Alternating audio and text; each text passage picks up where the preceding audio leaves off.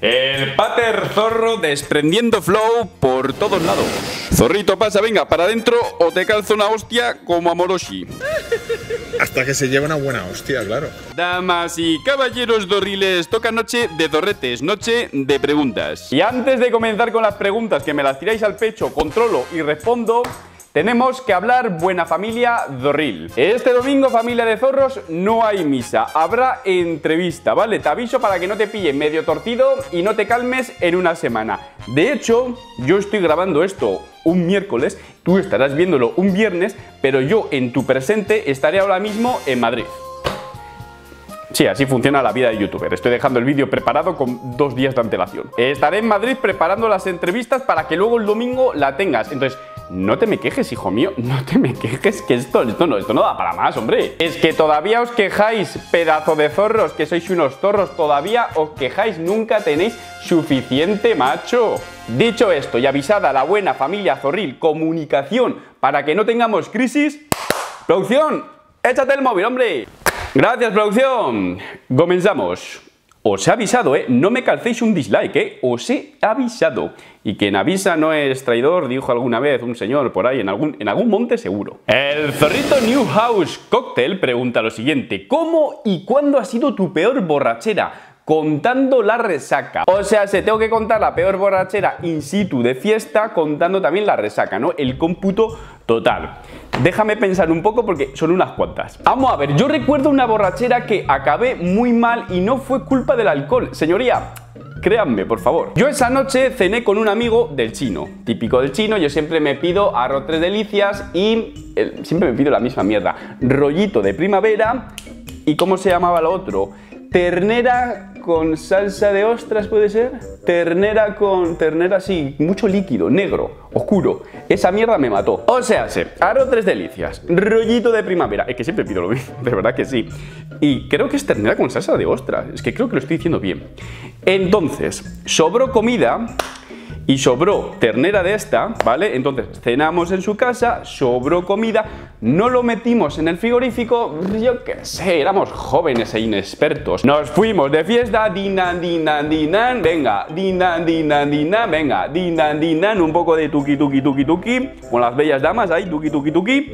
Volvimos a altas horas de la noche, en torno, pues no sé, a las 5 de la mañana, con un poquito de alcohol en el estómago y yo pensé, bueno, hay que comer un poco antes de dormir porque, claro, para para casi el estómago.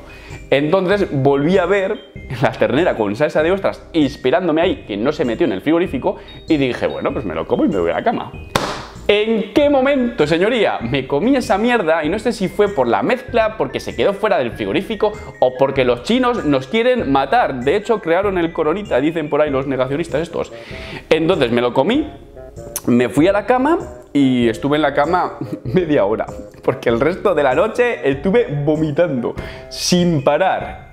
Entonces yo diría que es la peor noche que he pasado, pero tampoco es culpa del alcohol. No sé lo que pasó. El zorrito Escardarma pregunta lo siguiente. ¿Qué pasó contigo y Jesús Varela Bilbo? Os encanta hacerme esta pregunta y es que, señores, esto ya se contestó. Hice un vídeo en exclusiva que ahora mismo lo dejo por aquí. No me acuerdo muy bien cuántos detalles di porque son cosas privadas y yo me conozco y sé que tengo unos límites bien pautados. Pero te lo dejo por aquí y creo que aquí se contó bastante bien. Es una buena Biblia, es un buen vídeo, es bastante largo. Continuamos, salseosos, no, salsosos. La hijita zorrita Beanam... Beanabagor, Beanabagor. Eh, es que de verdad que todos los nombres. La hijita zorrita Beana Bagor pregunta lo siguiente: ¿Qué quería ser de pequeño? ¿Qué no quería ser? Quería ser todo. Sacaron Jurassic Park, pues yo quería ser paleontólogo, ¿por qué? Porque yo quería buscar al T-Rex. De hecho, el T-Rex es bastante guapo, ¿eh? De hecho, yo no es por meterme con los animales a día de hoy, pero comparas a los animales de, hoy con, con, los dinosaurios, y yo no sé por qué, pero los dinosaurios eran todos como muy guapos, y los de hoy no son tan impresionantes. Algo pasa aquí, ¿eh? Negacionistas, yo creo que lo de los dinosaurios es mentira, ¿eh? Yo creo que lo de los fósiles esos es una coña, ¿eh? Obviamente es broma, ¿vale? Pero habrá gente que posiblemente lo piense. Quería ser paleontólogo. Después, claro, sacaron Independence Day Will Smith con los F-18 ahí combatiendo, bueno, pilotando contra los alienígenas que tenían un escudo protector cuando metía así los torpedos, una película muy buena, entonces yo, pues, por alguna extraña razón, quería ser piloto de caza. Es que yo era muy influenciable con las películas, ¿eh? Menos mal que no veía no por con esa edad, porque si no ya, ya te imaginas lo que quería ser. No lo descartes, ¿eh? Buena merienda. Em, ¿Qué más cosas quise ser? Ah, futbolista, clásico. ¿Quién no quiere ser futbolista? Obviamente el recreo, además la canción de Oliver y Benji. Producción, póntela un segundo. Oliver y Benji. Estos dibujos eh, tuvieron una gran influencia en mi niñez. Entonces yo salía al patio y venga, que si el tiro del tigre y quería ser futbolista. Entonces yo diría que, ah, bueno, y con Félix Rodríguez de la Fuente me gustaban mucho los animales a mí, de verdad, pero mucho, mucho. Y ese señor, que en paz descanse, estaba de moda y hacía documentales. entonces yo quería ser de esos que hacían documentales también. Seguimos. Lo que está claro que no quería ser es youtuber, porque ni siquiera existía. ¿Qué hago en la hostia bendita? Pero sigamos. Daniel-Kit82 pregunta lo siguiente. ¿Qué ha sido lo peor que le has hecho a una bella dama? Pero por favor, ¿por qué? Presupones que yo he hecho algo mal. ¿Presupones acaso que he dejado alguna bella dama a medias? Tengo que decir que sí, ¿eh? Voy a ser sincera, vamos a ver, yo he dejado alguna bella dama a medias, pero realmente no será porque no tenga conocimientos suficientes o porque no me esfuerce lo suficiente, sino porque yo lo siento mucho, bellas damas, escúchenme, hay alguna por ahí que es que, tenéis un problema. Que no sé, que, el problema es vuestro, o sea, no es por proyectar, pero no llegan, hay algunas que no llegan y claro, es que llega un momento en el que ya eso cansa, ya, ya cansa. Quiero decir, a ver, tú puedes visualizar y puedes tirarte el rollo y decir dos horas, dos horas, a ver, realmente dos horas. Llega un momento en el que tú ya quieres acabar. No, no, es que habéis, las películas han hecho mucho daño. O sea, yo soy de tardar porque yo lo tomo con calma, yo suelo repetir, pero no nos pongamos tampoco aquí flipaos. Y yo estaba con alguna bella dama que, no llegaba, hiciese lo que hiciese, bajase al pozo, me pusiese así, asa, le contase, pues yo qué sé, igual la hablaba, ¿no? Para decirle cosas morbosas, yo qué sé, no llegaba ni para atrás. Y luego ella incluso reconocer, ¿no? Pues es que esto me pasa siempre.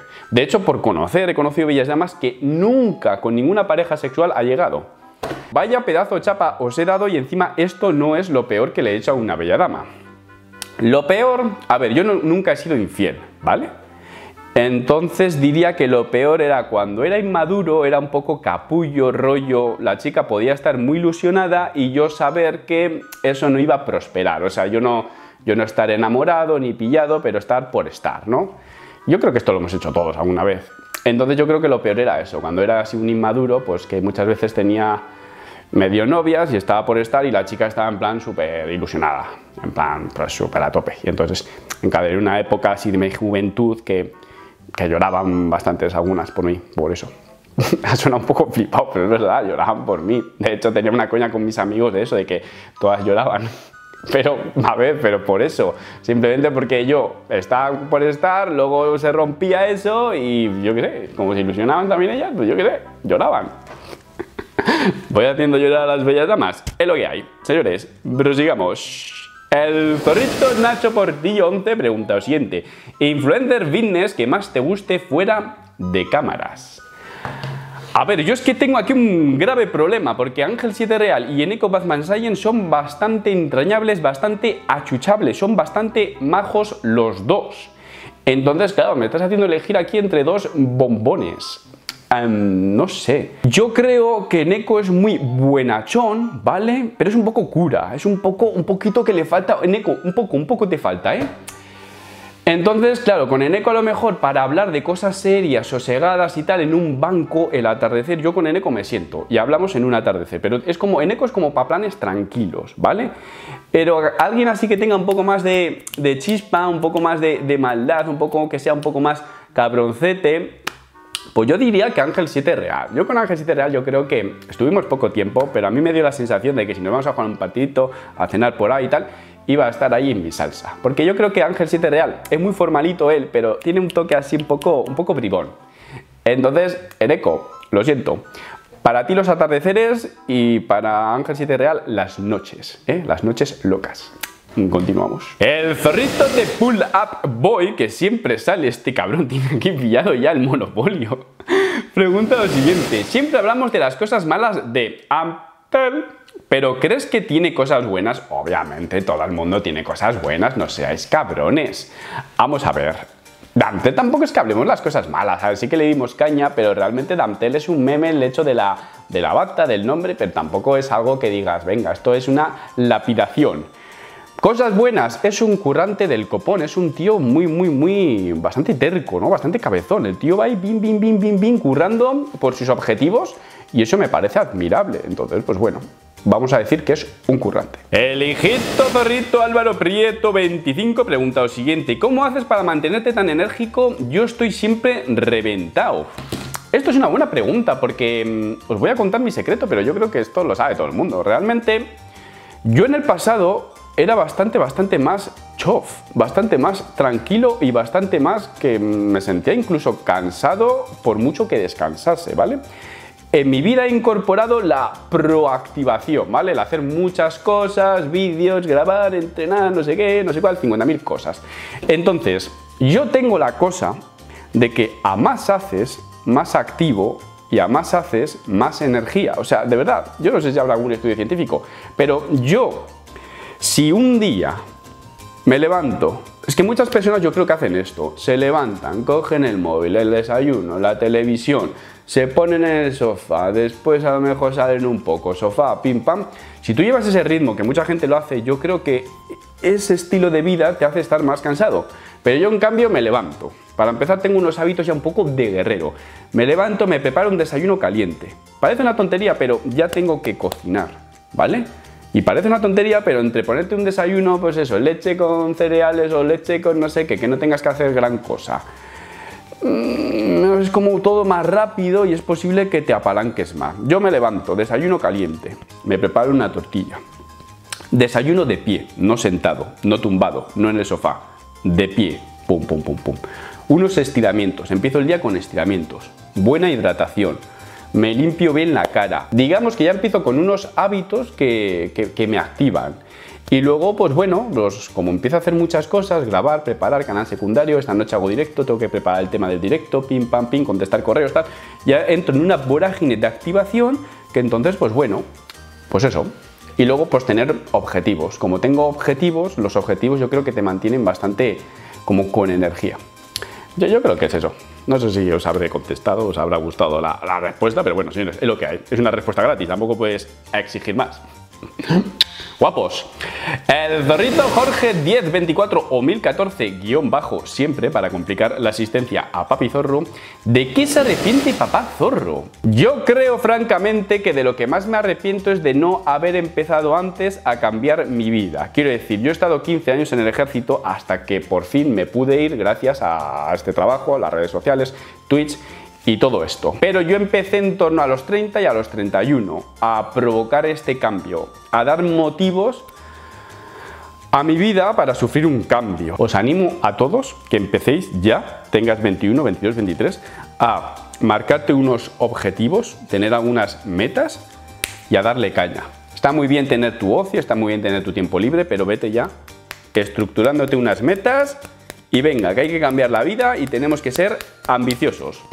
Entonces me arrepiento de eso. Pero bueno, más vale tarde que nunca, ¿no? Aquí estamos. El hijito zorrito M. Bellido pregunta lo siguiente. Del 1 al 10, ¿qué Wisayan le das? Vaya pedazo de pregunta zorril, bien tirada al pecho, vaya callejón, vaya sabotaje le acabas de meter a papá zorro.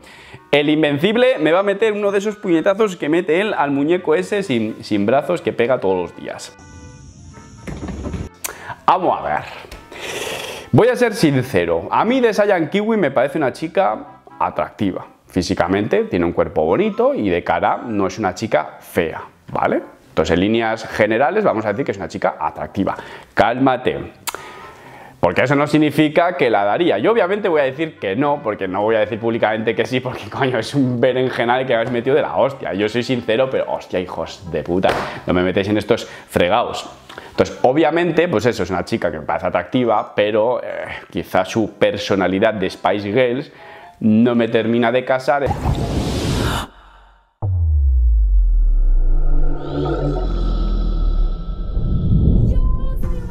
Entonces su personalidad no me atrae mucho. Creo que tiene un cuerpo atractivo, pero su personalidad no me atrae. Entonces, pues diré que no. Ahora empezarán los tíos. Los tíos damos a las tías aunque nos caigan mal solo por ser atractivas. Señores, la Fiscalía de la Sexualidad para otro día eso. El zorrito Javiloz 9 pregunta lo siguiente. ¿Quién es para ti el mejor youtuber fitness valorando su contenido, base social, etcétera? Francamente, George Tabet y Joan Pradales diría que a día de hoy son los mejores youtubers fitness o los que están creando un contenido más acorde con el nicho y que quizás más proyección tengan en el panorama. Más aún de lo bien que les va. Creo que ese formato que tienen rollo como si fueran capítulos, porque son vídeos muy largos, vídeos como muy desde dentro, ¿no? Como si fuera el making of, pero de sus propias vidas. Entonces, como tienen un formato muy largo, es un formato que interesa mucho, creo que, y luego son personas que destacan mucho en sus mundillos, pues creo que sin duda lo van a petar. De hecho, George Tabet yo creo que va a llegar a un millón de seguidores. No sé cuándo, pero llegará. Y encima tienes a uno que destaca mucho dentro del culturismo y otro que destaca mucho dentro del mundo de la fuerza, que tienen un formato similar. Sí que me parece un poco mejor el de George Tabet, un poco más cuidado, ¿vale? Sobre todo el tema audiovisual, pero es como muy parecido el contenido, lo que pasa que distintas ramas. Y luego, bueno, tienes a Greenfield, que creo que se le ocurra muchísimo, pero ya es un poquito más de los derroteros de, de las peleas. Entonces, pues bueno, también es un buen canal. Bueno chicos, hasta aquí el vídeo de hoy. No me calcen dislike por no subir misa, que me estoy esforzando mucho y merezco vuestro apoyo y además comunicación. Os he avisado, somos una familia con comunicación. Chicos, lo voy a mirar, ¿eh? No me calcen dislike. Antes de iros, si no habéis visto este vídeo, os lo recomiendo. Y si queréis pertenecer al Calvo Team del equipo de los malvados, pinchad aquí. Bueno chicos, como siempre os digo, un saludo, un abrazo y hasta luego.